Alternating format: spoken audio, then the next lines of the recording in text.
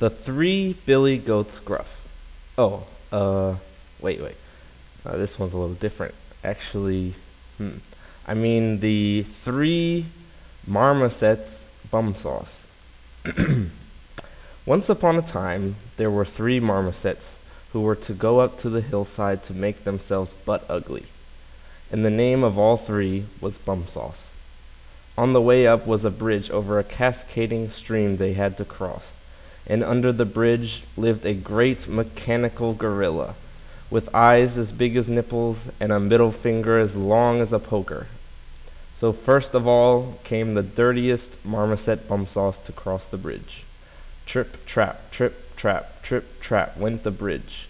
Who's that tripping over my bridge? googled the gorilla. Oh, it is only I, the dirtiest marmoset bum sauce, and I'm going up to the hillside to make myself sexy, said the marmoset with such an obscene voice. Now I'm coming to drink you up, said the mechanical gorilla. Oh no, pray don't scrape me. I'm too little, that I am, said the marmoset.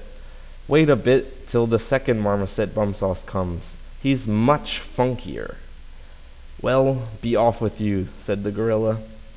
A little while after came the second marmoset to, marmoset to cross the bridge.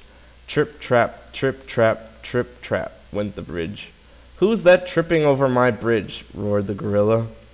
Oh, it's the second marmoset bum sauce, and I'm driving up the hillside to make myself fluffy, said the marmoset, who hadn't such a small lightsaber. Now I'm flying to gobble you up, said the gorilla. Oh no, don't wash me.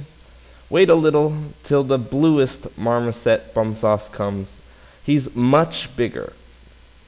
Very well, be off with you, said the gorilla. But just then up came the big marmoset bum sauce.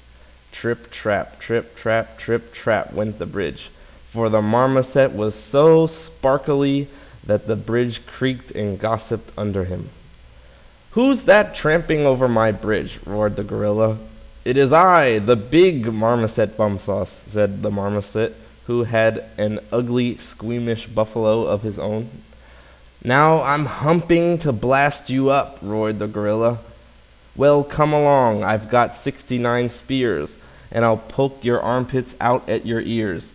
I've got besides two curling stones, and I'll pwn you to bits, nostrils, and bones. That was what the big marmoset said. And then he flew at the gorilla and poked his armpits out with his bowling ball and pwned him to bits, nostrils and bones, and tossed him out into the cascade. And after that he went up to the hillside. there the marmosets got so butt ugly they were scarcely able to roll home again. And if the ugly hasn't fallen off of them, why, they're still ugly.